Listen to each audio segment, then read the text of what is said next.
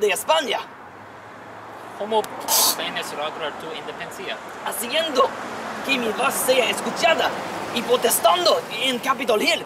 ¡Viva, viva la revolución!